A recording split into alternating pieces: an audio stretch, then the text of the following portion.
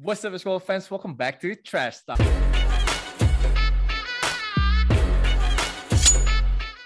Oh, Balik gue Ricky Padilla dan hari ini setelah gue baru selesai nonton acaranya Aja Thomas ngeliatin DeJounte Murray ngedang sekarang gue pulang gak lupa sama IBL Indonesia kita akan ngomong dengan mantan MVP dan juga IBL champion Caleb Ramot Caleb gimana kabarnya? Halo, baik, baik, baik, baik.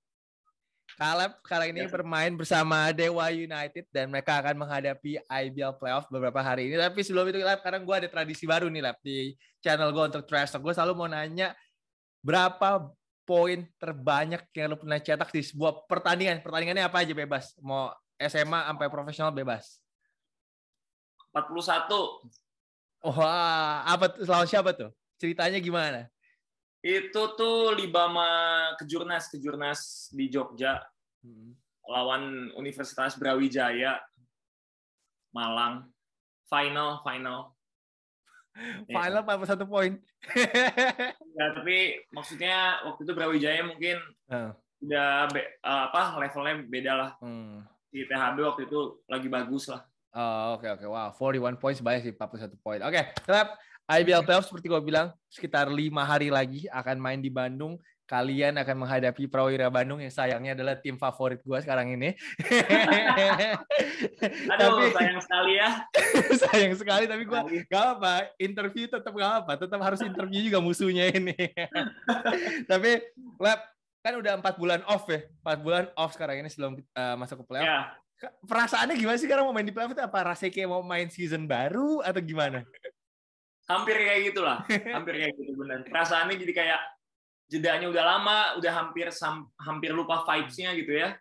Gimana rasanya pertandingan di apa crowd crowded-nya gitu penonton gimana. Jadi mungkin nanti pasti akan ada adaptasi lah Hmm. di menit-menit awal kali ya pasti ya.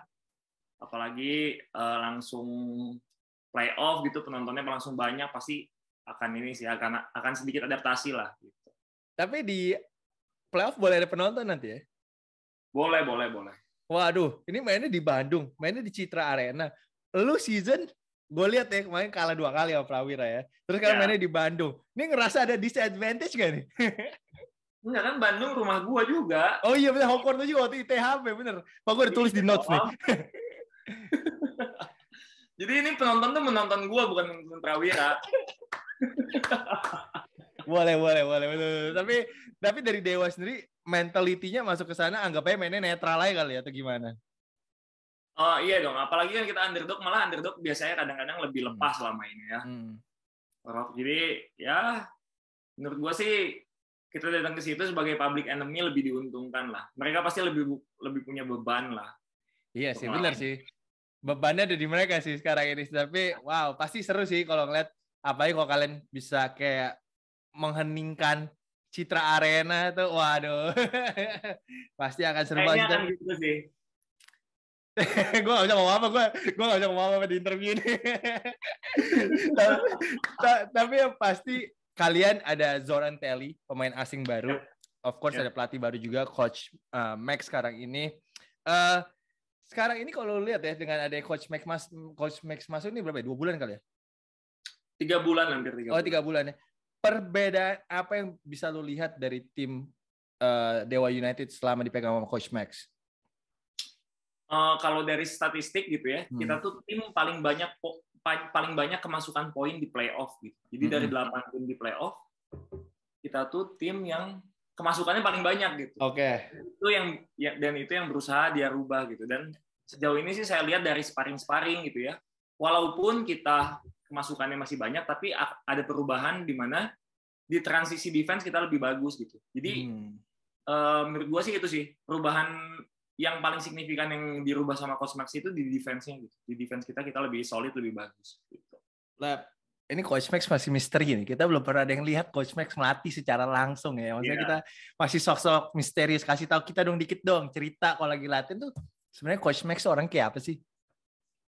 Eh, detail banget, detail. Hmm. Terus dia based on statistik banget lah. Jadi eh, data, data, data dan data gitu. Jadi contohnya gitu ya, kayak gua. Hmm. Misalnya selama 22 games, dia tahu semua apa yang gue lakukan gitu. Kalau gue dribble ke kanan, gue akan melakukan gerakan ini. Kalau gue dribble ke kiri, gue akan hanya akan passing gitu. Kayak gitu dia tahu gitu. Jadi semua datanya dia punya di mana itu bisa buat gue improve dong. Jadi lu kurangnya di sini, lu kurangnya di sini. Secara nggak langsung juga dia bisa bacain pemain-pemain lawan juga. Misalnya gitu ya, kita akan lawan Prawira. Misalnya kita ngomongin Hans Abraham. Hans Abraham akan seperti seperti ini seperti yeah. seperti ini jadi sehingga kita punya informasi di mana kita sebagai pemain oh nanti kita akan ketemu Hans Abraham nih gue udah tahu nih kayak gini gini gini gini based on data gitu ya. Hmm. selama 22 game selama game-game season-season dia sebelumnya dia punya semua. Itu sih gila sih menurut gue sih. Tapi itu yang dilakukan oleh ya levelnya olimpiade gitu ya kan dia kan. Hmm. terus di NBA pun dia bilang seperti itu gitu. Makanya bisa dibayangin statistik itu luar biasa sekali gitu di di luar sana gitu ya. Dan yang tadinya gue anggap aduh statistik nggak maksudnya penting tapi bukan nggak semuanya uh, based on stats gitu ya. Tapi ternyata dari statistik itu banyak hal yang bisa kita gali untuk menjadi informasi kita untuk menghadapi sebuah game gitu. Itu luar biasa sih gitu. sebelum gue lupa Prawira ingat Kaleb ke kiri ya? Karena kalau Kaleb ke kiri dia passing. Nggak nembak pokoknya Prawira ingat oh, itu kan gue gue ngasih tahunya kebalikan dong. Masa gue ngasih tahunya oh iya. Bener juga. Tapi memang sebenarnya scouting report itu sama data statistik itu sebenarnya penting banget sih dan itu yang gue harapkan di Indonesia sebenarnya akan lebih diterapkan ke depannya karena itu akan membantu banget nah. untuk um, untuk tim tersebut untuk mainnya lebih bagus dan seperti Dewa gue seneng sih dengernya kayak gue penasaran tapi scouting reportnya berapa lembar ya? Banyak nggak? Banyak banget sih, gila sih. Kayak gila. lu sendiri gitu, apa harus ada adaptasi? Dia, dia orangnya juga uh, tegas gitu ya, tegas, disiplin gitu, terus nggak pandang bulu lah. Misalnya senior atau junior semuanya sama rata lah. Jadi kan bagus gitu anak-anak lain uh, nggak ngerasa, aduh, Caleb senior udahlah udah pasti aman gitu posisinya atau gimana. Jadi tetap bersaing gitu. Jadi ya bagus untuk uh, situasi di timnya juga gitu. Jadi orangnya tegas dan leadershipnya bagus gitu. Tapi kalau gue lihat dia kayak bahasa Inggrisnya agak kurang ya, Lepe. Ya. Apakah kalian ada ada kesulitan nggak komunikasi sama dia? Benar, benar. Awal-awal ya hmm. agak sulit gitu ya, apalagi kan dia bahasa Inggrisnya kurang gitu ya. Tapi ya ngomongin soal soal bola basket, bola basket ya hmm. ya universal lah semua bahasanya juga dia contohin-contohin juga oh maksudnya itu maksudnya itu ya gitu aja sih. Jadi kalau misalnya ngomong gini memang agak sulit gitu kadang-kadang. Gitu. Ini pertama kali loh kayaknya di Indonesia ada pelatih dari Amerika Latin. Gue nggak pernah inget sih ada pelatih dari Amerika Latin sebelumnya. Tapi ya. Kaleb beruntung loh. Kaleb tuh dapat Lituania udah, Serbia udah. Yang paling galak yang mana, Lep? Gibi lah tetap. Gibi. tetap gak ada obat itu ya. Gak ada obat itu. Tapi oke okay, dia bisa balik lagi sih ke sini sih. Ya, susah deh. Dia udah juara di Lituania, ya. udah juara udah nggak mungkin balik deh. Udah kayak ada asisten pelatih mau masuk asisten pelatih timnas ya. Lituania juga kayak. Bener. Hmm. Gokil. Yo, tapi lab satu lagi Zoran Telly. Zoran Telly pemain baru, pemain asing baru bertarakan nama David Seager sama Jamar Johnson juga. So far kita juga, gue jujur belum pernah lihat juga Zoran Telly mainnya seperti hmm. apa. Nah kalau lu dari lu pertama lah first impression lu lihat Zoran Telly gimana? Uh, atletik sangat-sangat atletik gitu. Jadi kalau lu inget Duke Cruz, mm-hmm. ya model-model kayak gitulah mainnya. Ah, okay. Modelnya kayak main-main kayak gitu. Terus ya dia pengalaman juga, pengalaman dia udah udah main di overseas berapa negara gitu. Jadi ya udah udah cukup pengalaman. Terus coach Maxi juga pernah lihat dia main sebelumnya di uh, negaranya di Argentina gitu. Jadi kan pilihannya pelatih langsung gitu gitu. Oh, oke okay, oke. Okay. Saya gue sebelum lupa ngomongin coach Maxi tadi. Nih pelatihnya jago masak ya. Dia masak apa lah yang paling enak lah? dia cuma satu doang kayak asado. Jadi kalau lu, lu suka non, pernah nonton iya. apa? Vlognya Fast Dewa. Furious itu. Hmm. Fast and Furious. Oh, Memang, Fast and Furious. Iya kayak kayaknya di Amerika Latin sana uh, budayanya kayak gitu. Dia suka ngundang orang, dia masak, barbecue gitu. Hmm. Tapi kalian ini kayak sering ngumpul-ngumpul sekarang ya Dewa ini sebelum uh, playoff ini kayak sering pergi jalan-jalan bareng. Yeah. Itu apa sih yang kalian lakukan biasanya? Uh, ya cuma main aja refreshing. Kadang-kadang hmm. misalnya nonton atau enggak makan atau enggak pergi uh, liburan gitu ya ya refreshing aja sih tapi uh, di balik itu semua si coach Maxi pengen supaya kita kompak lah gitu hmm. tim bonding gitu Oke, okay, Lab, ini kan sebelum uh, season selesai ini sebenarnya kan kalian main bertiga ya, ada maksudnya ada tiga MVP, ada ada lo, ada Yus, ada Jamar Johnson. Tapi kelihatannya bertiga itu nggak ada ego sama sekali. Kelihatannya tiga-tiga itu benar kayak pengen uh, ya pokoknya kerja sama aja pokoknya gimana caranya yeah, pun yeah. pokoknya dewa even kayak Jamar pun kalau gue lihat walaupun dia memang menitnya minim banget tapi kayak itu dia punya impact walaupun dia ada di luar lapangan tetap punya impact Benar. untuk tim ini sih jadi kalau lu lihat apa sih uh, yang bikin tiga pemain itu bisa kayak benar kayak mau bikin impactnya untuk tim ini pokoknya nggak mikirin statsnya mereka sama sekali gitu. Hmm, apa ya sama kita sama-sama bukan ini sih bukan indi apa bukan award individu sih yang dicari. Kita satu sama-sama satu misi pengen juara gitu. Koyus pengen kalau berhenti basket berhenti basket beneran pensiun ya kan dia pensiun balik pensiun balik. Hmm. Beneran pensiun dia pengen juara sekali lagi gitu. Jemar juga gitu gua juga gitu. Jadi ya kita punya satu visi yang sama pengen juara gitu. Terus yang kedua memang dari coaching staff waktu itu coach Bedu Ko Bom Bom dan coaching staff yang lain juga kayak mempercayakan kita untuk ngelit the timnya gitu jadi kita nggak usah pikirin poin berapa uh, atau main bagus atau gimana yang penting lu jadi leader di lapangan bertiga bantu adik-adik lu lah ini istilahnya gitu. Jadi ya kita bisa jadi malah poinnya banyak itu itu malah bonus sih menurut gua sih. Gua nggak hmm. ada kepikiran gua dari awal gua harus jadi MVP atau apa. Koyus juga gua yakin nggak kayak gitu. Kita cuma jalanin tugas kita ya kita dapat bonusnya aja dapat poin atau apa gitu. Sebelum kita ngomongin tentang nominasi MVP, kita bahas dulu lah. Kok Yus, Zaverius Prawiro. 36 tahun kayaknya dia sekarang gitu. Ya, benar. Uh, dia satu tahun sama beda sama gue. Um, Yus off dua tahun ya. Tapi lu kaget gak sih pas pertama kali lihat Yus masih sejago ini? Kaget, kaget, kaget. Gue aja awal-awal gitu, gue kan malah uh, awal comeback pasti latihan fisik dulu ya. Gue udah satu tahun gak main basket, gue fisik gue kaget Koyus fisiknya lebih bagus dari gue gitu. Oh my god. ah, gue kayak ngerasa masa sih gitu. Tapi memang kenyataannya ternyata dia memang jaga kondisi gitu selama dua hmm. tahun ini dia nggak off bener-bener off gitu. Dia memang bener-bener jaga kondisi. Dia balik ke sini lagi, tinggal balikin touchnya lagi, udah nemu lagi gitu. Jadi kayaknya dia memang jaga kondisi dan memang prepare banget gitu untuk kapan pun dia mau balik dia siap gitu kayaknya. Tapi nemboknya masih bagus ya. Masih bagus, masih bagus bener. Gila sih, gue sampai shock banget sih ngeliat dia kemarin ini. Gue gila, iya sih masih jago sih, boleh lah. Tapi karena kita ngomongin lo masuk nominasi MVP setelah average-nya 15,5 poin per game, lalu juga 5,4 rebound per game. Lab awal season ini kan, lo sebenarnya baru balik dari cedera ya. Tadi kita baru cerita dari cedera cartilage ini.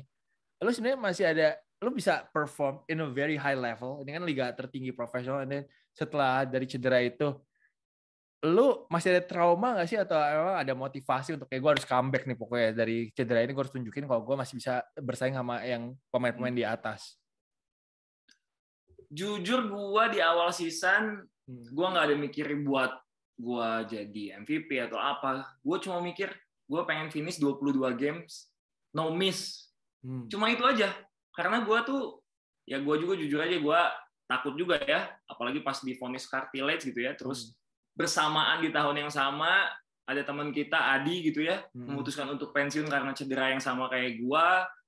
Terus ke belakang banyak pemain juga yang pensiun karena cedera kayak gua gini, gua kan jadi aduh gua masih bisa nggak ya, masih bisa nggak ya. Jadi waktu pertama di approach sama Dewa, terus coach Bedu sama Pak Michael, uh, eh, CEO-nya Dewa United percaya kalau gua bisa bantu tim ini, ya gue jujur nggak mikir aduh gue harus bersaing lagi nggak gue harus masuk timnas lagi atau apa. Enggak gue nggak ada mikir gitu. Gue mikir cuma gue finish 22 game no miss gitu ya.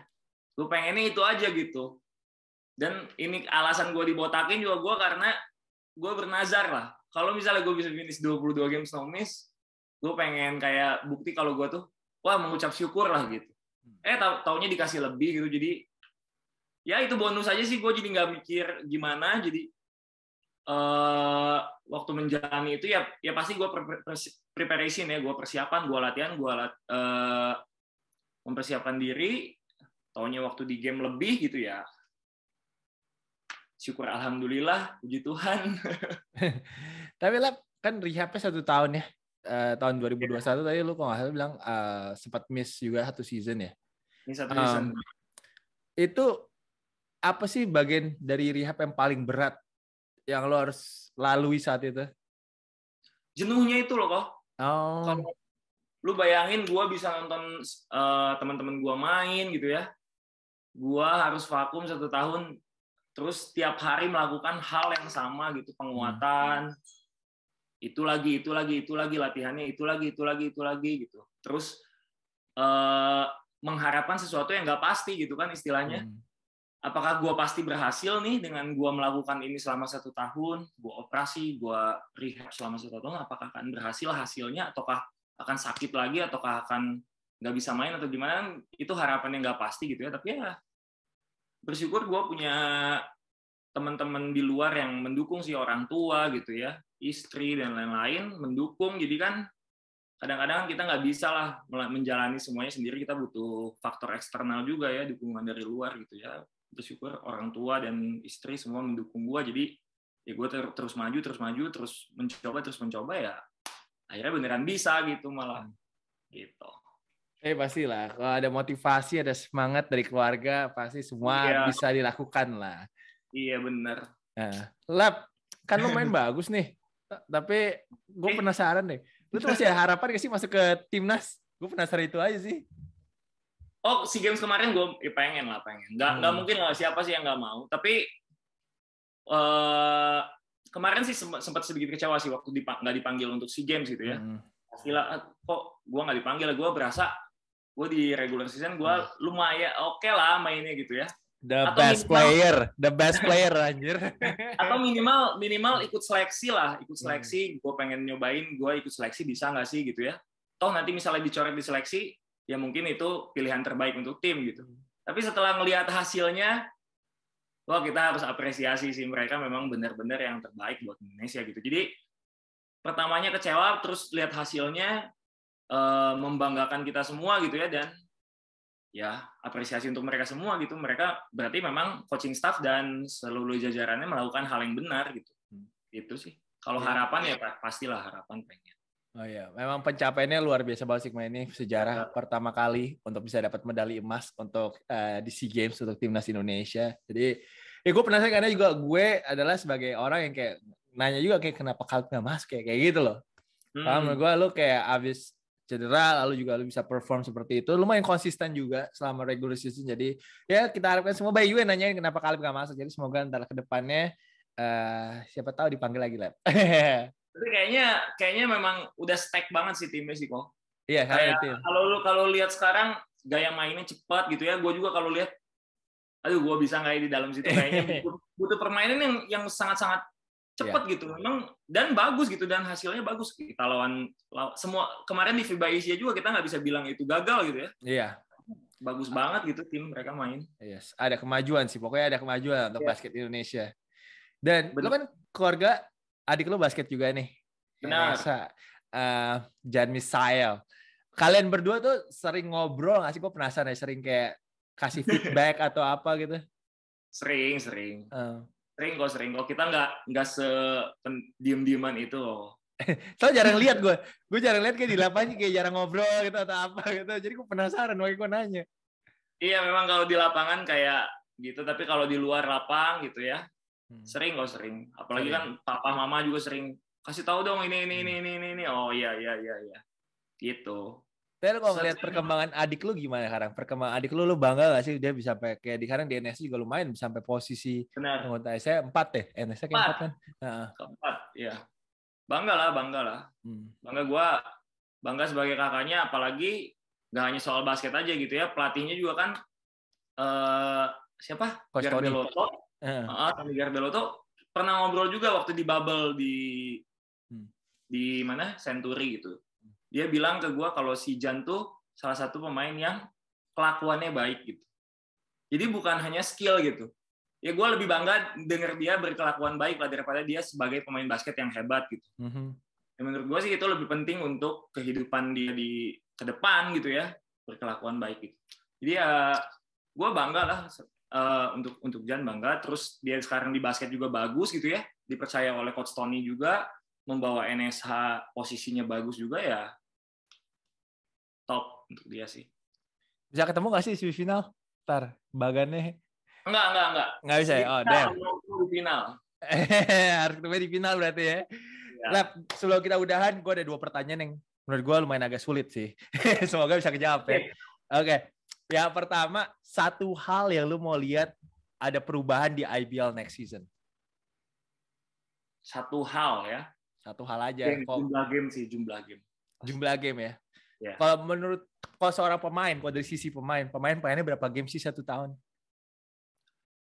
Waktu itu sempat eh, uh, 32 game, eh 33 game untuk regular season aja, itu aja cuma itu 12 tim nggak ya? Iya 12 tim kalau nggak salah ya. Hmm. Uh, eh, 11 tim. Pokoknya satu tim kebagian 33 game. Okay. Sekarang kan harusnya jumlah tim banyak, hmm. harusnya makin makin banyak dong gamenya gitu. Iya sih. Malah uh, turun. Tapi peningkatan si season ini peningkatan dari season lalu. Season lalu regular season cuma 18 game, sekarang 22 game. Peningkatannya berharap tahun depan 30 uh, bisa minimal ya, satu tim ketemu lagi deh ketemu lagi deh best of three lagi gitu kayak dulu. Dulu kan best of three tiap tim ketemu hmm. best of three best of three best of three. Kayak kayak dulu dulu terus ya harapannya ke depannya makin makin makin lagi gitu. Ya bayangin aja kok kayak kita sebagai pemain latihan bisa sampai enam bulan atau tujuh bulan uh, gamenya cuma empat bulan gitu ya kan. Sayang banget gitu. Eh, gue kebayang main liga mahasiswa lah. Latihannya satu tahun mainnya cuma dua bulan. ya, itu dia benar. Benar itu gue lebih gak kebayang lagi oke okay, ngomongin liga mahasiswa yeah. ngomongin liga mahasiswa pertanyaan terakhir. Hmm. pilih lima pemain terbaik alum alumni boleh yang masih main juga boleh dari ITHB lima terbaik ya? Atau favorit lu lah. Boleh terbaik boleh favorit lu lah. Gua satu. Satu lo boleh bener boleh boleh terus. Empat lagi. Ya Bentar, bentar, bentar. Aduh, ini masih banyak yang main lagi nanti, banyak yang ini lagi ya. Gak apa-apa, seru-seruan aja. Yuda, Yuda, Yuda. Itu udah pasti Yuda, harus itu. Dan uh, udah tiga. Firdan. empat. Empat. Satu lagi. Satu lagi. Randika. Randika. Oke, jadi Yuda point guardnya, Firdan main shooting guard. Eh, sorry, jangan misal main shooting guard berarti. Firdan main tiga, Kaleb main empat, Randika main lima. Cocok udah tuh. Randika mainnya bareng lu ya? Kenapa? Randika mainnya bareng lu ya? Main, main bareng. Oke, oh, oke. Okay, okay. Ya, itulah adalah top 5 ITHB versi Kaleb Ramot Gemilang. Lab, sukses untuk di playoff nanti good luck, sehat-sehat selalu, jangan sampai cedera. Ketemu di final ya. Saya nggak ketemu di final, saya ketemunya sama Anda di first round. saya prawira saya soalnya. Uh, ya iya kan lu katanya lu ngeliputnya final oh, doang. Oh iya, kan? iya benar benar ketemu lu di iya, final berarti. See you di final. Waduh. Jadi bingung ngomong apa ini. Dilema. Pede aja dulu, masa nggak pede? Oh, iya. gue gue jujur pas gue pas coach Maxi masuk gue kayak gue langsung aduh coach Maxi masuk ini jago sih pelatihnya sih gue kayak langsung. Puyeng gue langsung. Ya kita lihat lah kita lihat lah. Tapi yang penting game seru lah. Game kayak gue yeah. expect game akan ketat juga kan seru. Tapi Caleb once again all best wishes untuk Dewa United dan juga Caleb Ramot juga. Dan of course sehat jangan sampai cedera lagi. Amit amit amin. Amin. Um, ya guys Jangan lupa untuk nonton IBL Playoff tanggal 13 Agustus. Kalau yang di Bandung bisa langsung ke Gor Citra Arena. Bisa nonton tim favoritnya dan juga nonton Mas Caleb Ramot yang MVP menurut gue. so, ya, amin. amin. So, Lab, sukses ya. So, guys, thank you semuanya thank you, udah nonton. You. Sampai ketemu lagi semuanya. Bye.